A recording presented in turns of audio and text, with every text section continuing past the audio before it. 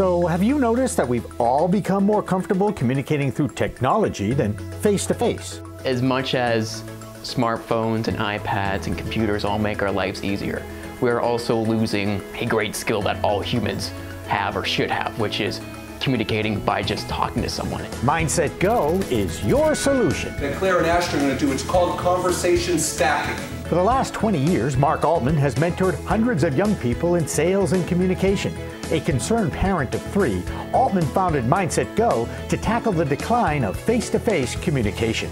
At Mindset Go, we develop confident communicators. You know, we identify what people love to talk about and build our programs around that. At the end of the day, what we're trying to do is we're trying to build self esteem, we're trying to build confidence, and we're trying to provide our trainees vital communication and life skills. Smile. Did you hear that, Coach? Yes. I want you to smile, no matter what happens. Jimmy Young is the Director of Education at Mindset Go and a 35 year Emmy Award winning sportscaster from New England. He was also the founder of Young Broadcasters of America, where he trained thousands of kids with his methodology. I learned to use the video camera to show young people how they can improve on how they look and how they sound. And they have a blast doing it.